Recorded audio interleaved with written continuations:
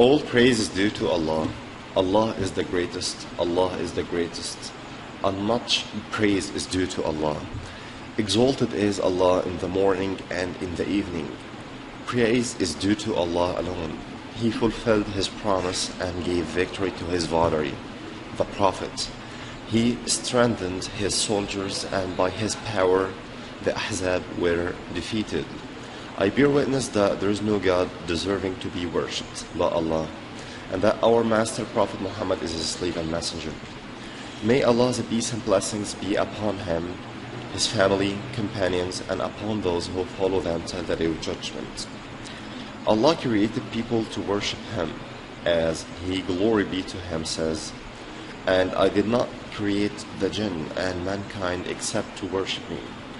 The concept of worship in Islam is not limited only to performing ritual duties such as prayer, fasting, zakat, etc. It is instead a broad and comprehensive concept that encompasses all walks of life. Thus, anything recommended or obligatory that a Muslim does or says is subsumed under the acts of worship for which he gets reward.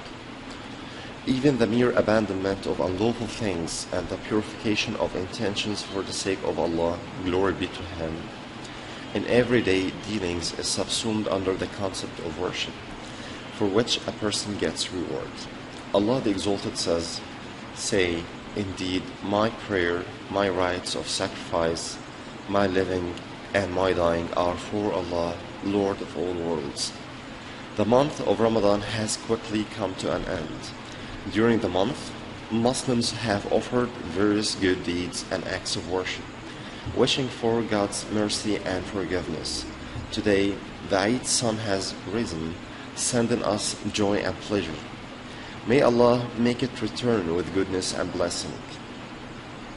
It is truly a blessing that merits thanks since it is a manifestation of joy over completing the month of Ramadan and the fulfillment of God's blessings for His votary on one hand, and the occasion itself being bountiful and delightful on the other.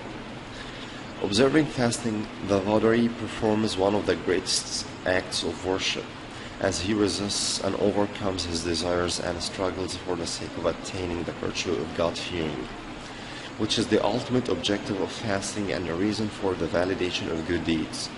Allah the Exalted says, O believers, fasting is enjoined on you as it was enjoined on those before you, so that you might become righteous. And He also says, Indeed, Allah only accepts from the righteous who fear Him.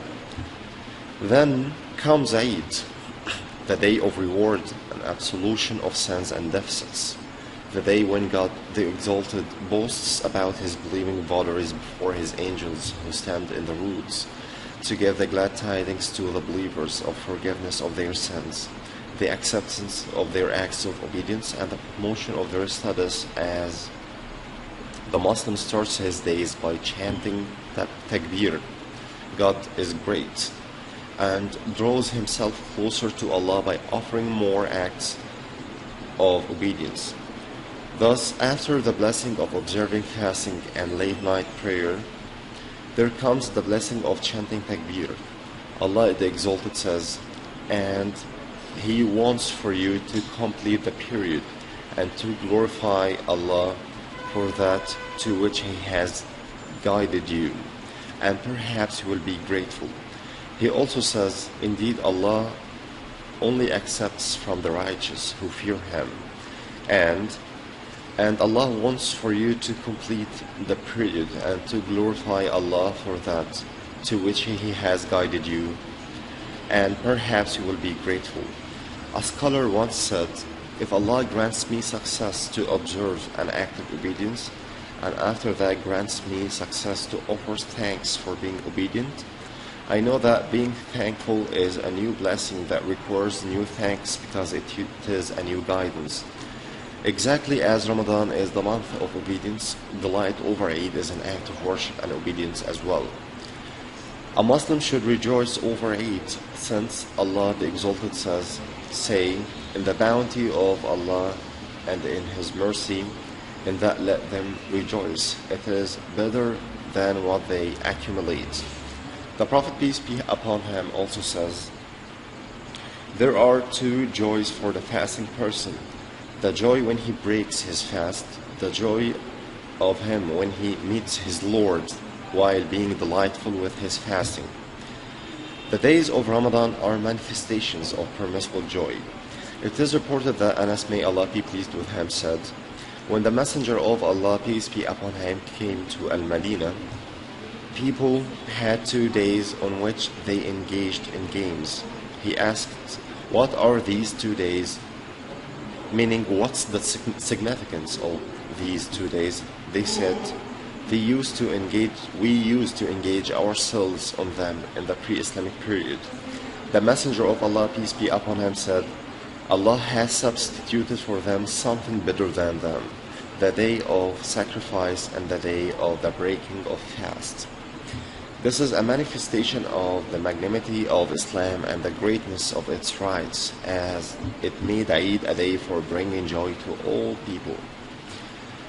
Also, man should be keen on, keen on making all people happy, especially the poor, the needy, and the orphans. Allah, glory be to Him, decreed al-fitr, almsgiving as exoneration for the poor to spare them asking people to fulfill their needs. The Prophet, peace be upon him, said, Suffice them, that is, give them what achieves sufficiency for them and spares them asking people for their needs. And did not say, Give them or give them in charity. All praise is due to Allah. Allah is the greatest, and much praise is due to Allah. Exalted is Allah in the morning and in the evening. Praise is due to Allah alone. May Allah's peace and blessings be upon our Prophet, his family, companions, and upon those who follow him till the day of judgment. Muslim brothers, there are manifestations of joy and happiness on the day of Eid, on top of which are maintaining good relationships with relatives, which is considered one of the greatest duties and acts of worship as it spreads fraternity and love among relatives, prolongs life, increases provision, and blesses wealth. Our Prophet, peace be upon him, said, He who desires ample provisions and his life be prolonged, he should maintain good ties with his blood relations. Maintaining good relations requires forgiveness and meeting evil with goodness. Thus, our Prophet, peace be upon him, said, the person who perfectly maintains the ties of kinship is not the one who does it because he gets recompensed by his relatives for being kind and good to them. But the one who truly maintains the bonds of kinship is the one who persists in doing so even though the latter has severed the ties of kinship with him. Maintaining good relationships that our purified Sharia has advised includes strengthening social relationships among all people through mutual visits, meetings, greetings, concord acquaintance, and spreading mercy among all people.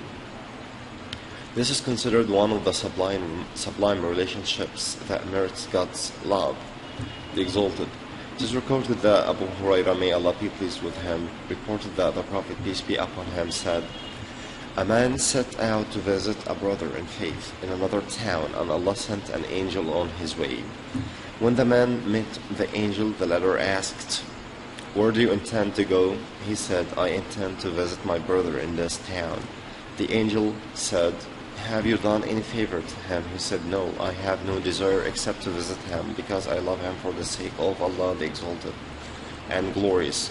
Thereupon the angel said, I am a messenger to you from Allah to inform you that Allah loves you as you love Him for His sake. Therefore, therefore, it was the Prophet's habit to go to the mosque on Eid on foot. Thus, it is reported that Ali, may Allah be pleased with him, said, It is recommended to go out on the day on foot. Accordingly, a person may ride only if he has an excuse or if the distance is too long. It was also the Prophet's habit to go to the mosque by a certain route and return by another route. Jabir ibn Abdullah narrated that the Prophet, peace be upon him, would switch routes on the day of Eid. The Prophet wanted to the two roads to witness for him on the day of judgment and to meet as many people as possible to exchange good wishes on this blessed day with them. Jubair ibn Nafir narrated that when the Prophet's companions met on the day of Eid, they used to say to each other, May Allah accept from us and from you. It should be kept in mind that continuing to do acts of worship, worship after the end of Ramadan is a sign of the validation of one's fast. If Allah completes His favor upon us by helping us fast Ramadan, it is recommended that we fast six days of the month of Shawwal. The Prophet, peace be upon him, encouraged us to fast and showed us its merit. He, peace be upon him, said, Whoever fasts during the month of Ramadan and then follows it with six days of Shawwal will be rewarded as if he has fasted the entire year. Thus, fasting six days of Shawwal is tantamount to fasting the entire year. So let's all be keen on fasting these six days on hopes of getting closer to Allah and attaining His pleasure. Asking Allah the Exalted to accept our fasting prayers and good deeds. We hope that every year be a year of security and peace for the whole world. O God, we invoke you to make this Eid an occasion of prosperity, goodness, blessing, security, and peace for our beloved country, Egypt, and all world's countries as well.